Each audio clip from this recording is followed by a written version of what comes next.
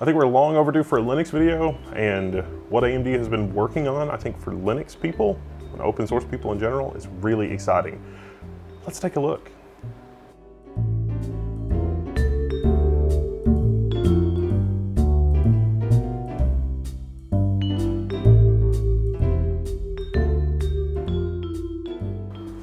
I'm Wendell, and this is level one. You should totally subscribe and hit the bell and do all that stuff because the algorithm demands it. The 2000 series Ryzen desktop CPUs have launched, and I've been stuck in kind of a quagmire working on Ryzen 5 plus Vega. Ryzen 5 plus Vega on Linux, not ready yet. Let me just summarize it for you there. But the 2000 series desktop CPUs uh, those are a refresh, and those are actually really awesome for open source people.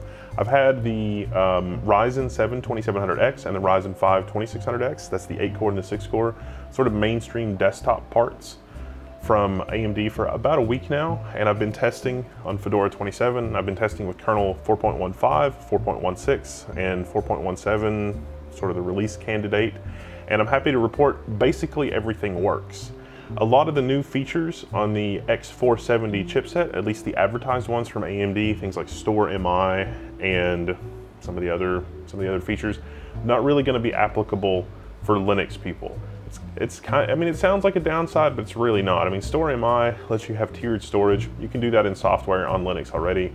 Uh, their software solution for Windows is not portable. It's also still true that things like the the the motherboard-based NVMe RAID, like we saw in Threadripper, that has come to the 470 chipset. But again, because it's kind of a software-based RAID, uh, you can already do that with Linux. So you don't really need it. You can do that with, with MD, and MD actually does that perfectly competently. Now, in terms of like chipset changes or chipset layout changes or anything like that, the X470 chipset is an incremental improvement over the X370 chipset, but it doesn't really give much to Linux users. Um, it's it's really not a lot of a lot of a change for for Linux users. Uh, for IOMMU, for example, all of the uh, stuff that hangs off of that Promontory chipset, the X470 chipset, is still grouped together in one IOMMU group. So what your motherboard vendor chooses to put on the chipset, usually USB, maybe auxiliary, auxiliary USB controllers, auxiliary SATA controllers, the sound card networking, things like that are hanging off that, that Promontory chipset. And then whatever you're using in the sort of secondary PCI Express slots.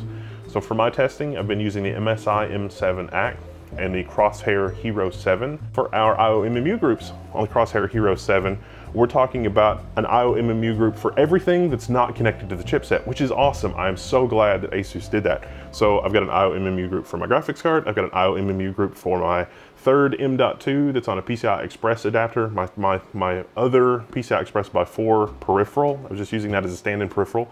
I've got separate groups for both of my uh, NVMe uh, cards, my NVMe uh, flash drives that are on the motherboard, and then everything on the Promontory chipset, including my serial attached SCSI adapter, is in its own group. So not really a lot has changed. Everything that's plugged into the chipset is in one group. So that's that's pretty much the same situation that it was on the X370 chipset. Uh, the only thing that's different here, at least on the Crosshair Hero 7, is they're giving you some options in terms of how they're juggling PCI Express lanes. And so far, I haven't seen that on any motherboard for uh, X470 other than the Asus Crosshair Hero 7, which is why I'm kind of excited about it. In terms of like UEFI configuration, you can configure UEFI for RAID Expert 2. You can configure uh, UEFI for the P-state override, which is the way that I've been overclocking in Linux so that you don't need a utility. I overclocked my Threadripper system uh, to 4.0 or 4.1 gigahertz. It's 4.1 gigahertz since I got an Enermax cooler on it to keep it cool and I just did that with P-state overclocking. So I can still get the cool power management thingy that's messing with my clock speed, but I get the full 4.1 gigahertz even when it's under load, and it turns into a little space heater in terms of heat production. This, out of the box, even though this is a refresh, you know, a second generation CPU, the Linux support is fully there. This motherboard, the sound worked, the networking worked because it's Intel networking, the uh, USB peripherals basically worked. I had a little, like the, The ASMedia controller sometimes on Linux does some funky stuff, but usually a reboot takes care of it. This motherboard also provides two PCI Express 3.0 adapters. We're gonna do a full review of both this Asus motherboard and also the MSI M7 ACK. Now I've also tested the M7 ACK with Linux and it's great. It also provides two M.2 slots, one through the chipset and one connected directly to the CPU. You can do RAID with that as well, but again, Linux is gonna be MD RAID. It's not gonna be any of the store MI stuff that Asus has been saying, woo doggies, this thing's amazing. It is pretty neat, but just keep that in mind. The, uh, the M7 is definitely worth a look if you're looking to build a Linux workstation. Basically all of its peripherals work out of the box as well. It's a little different setup, a little different goals and strategies than the Asus Crosshair Hero 7, but I really had to point out exactly what Asus had done with the PCI Express layout on the Crosshair Hero 7 because it is unique. Now in terms of stress testing and all the other stuff, I've run Kill Ryzen, I've done all sorts of terrible things. There don't seem to be any marginality problems this time around. I got a launch day 1800X that we bought and I never had problems with the, the kill Ryzen script. I never had any of the marginality problems on the CPU that we picked up. So that's not something that affected every CPU, I think. But, you know, on a sample size of two, uh, kill Ryzen is fine. And I'm also really happy to report that all of the cool stuff like the built-in boost up to 4.3 gigahertz all of that seems to work fine on Linux, or pretty close to fine. I've seen it boost as high as 4.225 gigahertz. I don't think I've seen the full 4.3, but in terms of like speeds reported by the CPU frequency GNOME widget thingy, it's basically been fine. Now in terms of ECC support, that's gonna be down to the board vendor. The board vendor has to support ECC. And we, have you know, it was a little mixed on X370. Some boards supported ECC, some boards explicitly disabled ECC.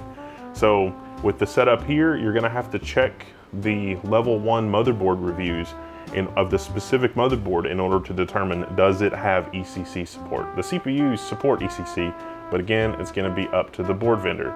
Now, unfortunately, while the Crosshair Hero 7 supports ECC, or at least ECC works with the motherboard, supports is in quotation marks there, the, the MSI M7 does not support ECC. ECC is disabled in the UEFI. When I enabled uh, SVM, it did not seem to make a difference. So, Crosshair Hero 6, ECC, yes.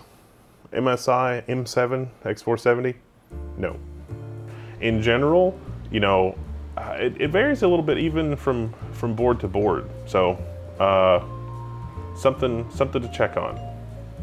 One thing about error correcting memory that I will discourage you a little bit on is that with the improvements to the new Zen processor, having faster memory really does help a lot. If you can run 2933 over, you know, 2133 or 2400 or even 2600, you absolutely should do it. It's kind of diminishing returns past 3200 in my informal testing, but between 2133 and 2933, you will feel a difference in your system in Linux, just moving around the system and doing stuff, I promise you. So spend the extra money and get at least 2933 or even 3200.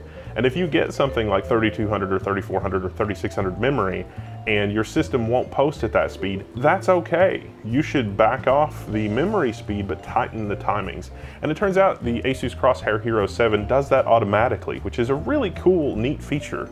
So good job, Asus. It's like it's like my spreadsheet. I did a video a while ago on a spreadsheet that's like a calculator where you can calculate your timings. That spreadsheet is not perfect, but Asus has baked in that functionality into the Crosshair Hero 7. So good job, Asus. Nicely done. About the only thing that did not really work well on Linux was sleep and resume. Now I had a lot of trouble with sleep and resume on the X370 chipsets, and it did seem to vary from board to board and BIOS revision to BIOS revision. Sleep and wake, like the low power management stuff in Linux, is still a little rough around the edges. I'm gonna recommend that you don't let the machine go fully to sleep. Now, um, with the MSI M7, I had the best luck. Maybe one in seven or eight resumes from sleep did not work. Uh, but so far, knock on wood, with the T6 BIOS revision, sleep and wake on the M7 from MSI seems like it's working way better than I experienced with like the uh, the you know the SLI AC and some of the older X370 boards. So I, I think that's probably a software thing but hey, you know, nice to have. Now, if you want to upgrade to the 2000 series CPUs on the 1000 series desktops, you could totally do that. You should check out our main channel at Level 1 Tech so that you can, you know, sort of see like the general hardware stuff. I'm trying to keep this short and trying to keep this about Linux. So yeah, it's it's really nicely done in terms of Linux support this time around. It, you know, if overclocking is not your thing, and I know that most people uh, running open source stuff, like you just like, I just want to get something and plug it in and be done with it. And these are great for that. The CPU cooler in the box is great for running at stock speeds as long as the rest of your system has adequate cooling. It's not super loud. There's actually, if you get the 2700X, there's actually a little switch on the fan that'll let you toggle between low and high and on low it's not super loud. On high it does get kind of loud, but it'll also let your CPU run faster. So these are really an easy button solution. If you're if you run Linux and you are looking for an, the easy button solution and you want really really good performance, this is definitely it. I, I don't see any reason like it for a mainstream desktop setup here. This is is really really good. The clock speed, the stability, the performance, sort of the self, you know, the, the XFR2 features, it's really, really good um, for Linux and open source type uses. I've got more testing to do. That's that's my only real hesitation is like, you know, always get in there and it's like, oh, when you're compiling GNOME, the whole thing crashes. But in a week of testing, super cautiously optimistic, really excited. It is a really nice refresh. Uh, you know, if you adopted the first gen, there's sort of that early adopter tax. I feel like the early adopter tax is basically gone at this point. So good job, AMD. This is a really, really solid option. I like it a lot. Come hang out in the forums at Level 1 Techs. I'm Wendell, I'm signing out, and I'll see you there. Oh, don't forget to hit the little bell and subscribe and all that goodness too. Maybe, maybe leave some comments because appeasing the algorithm. I'm running Ryzen Kill back here, and the room has gotten 10 degrees warmer. Not really. I'm mostly joking. It's warmer because the the boiler's on and it's not supposed to be cold today and it's like 40 it was like 80 yesterday what's going on with the weather all right